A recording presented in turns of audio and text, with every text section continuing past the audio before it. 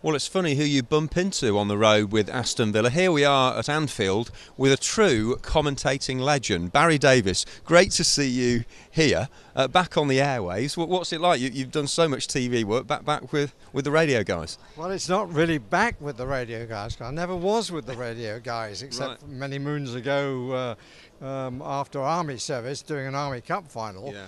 So I did one match last week. Basically, I'm standing in for, for Jon Champion on Absolute Radio, and uh, it's it's a real challenge. You know, I had to remind myself a bit last week.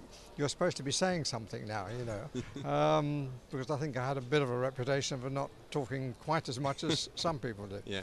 Here we are at a wonderful football venue, no. as is uh, Villa Park. Do you, do you, have any particular memories commentating on Aston Villa at all?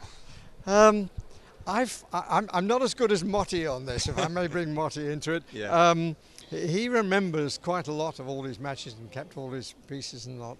I get reminded. Do you remember when you said so and so? And and then I do, but yeah. trying to sort of think of moments I find quite difficult. I yeah, yeah. And what do you make of Aston Villa this season under Tim Sherwood?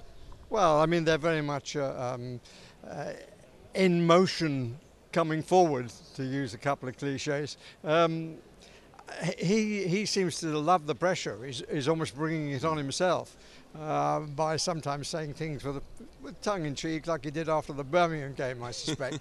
Second half performance was very good to watch. Yeah. Uh, be interesting to see whether today um, he's prepared to use those two players right from the word go. Yeah, lots of young players, and it is going to take them time to, to gel and knit together. But you don't get much time nowadays, do you? No, you don't. Particularly if you're a manager. Uh, and um, I, you know, I think this tends to be a bit exaggerated by by the modern media. Yeah. uh, a few managers who built great careers probably wouldn't have survived. I mean, I'll give you one, for example. I mean, Alex Ferguson. He yeah. might, if in, in, the modern media, he might not have survived because he had a really uh, rocky ride at the beginning of his time at Manchester United, yeah. and he proved himself to be the greatest we've ever seen in yeah. this country, maybe in the world.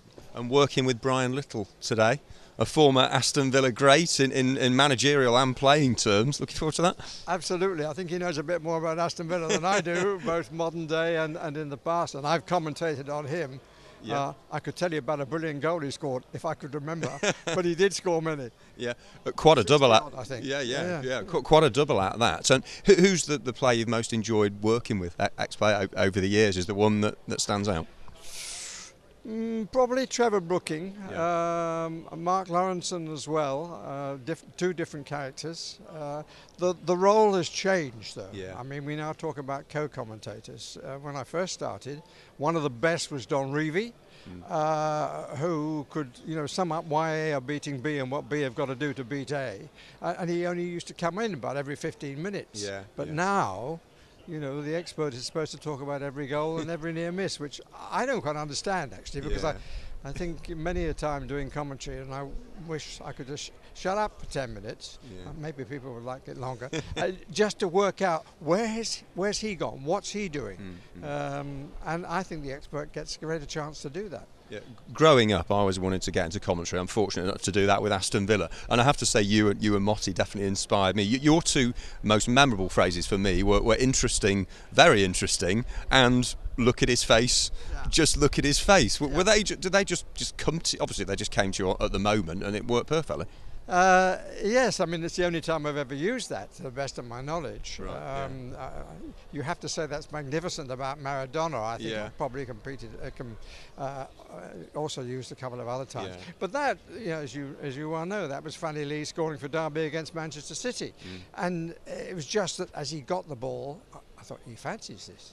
Yeah. So that's how the expression went. He scores and and the look on his face was like a kid who, who yeah. just tasted the cream. And also there was a, a, certain other look on his face that said, "This is going to be a memorable goal in my yeah. career," and it was. it was. And they they went on to take the title. Yeah. And you'll have to come to Villa Park soon. We'd, we'd love to see you there. Oh, thanks for the invitation. I'll try and take it up. we'll, we'll, lay out the claret and blue carpet. Thanks very much, Barry.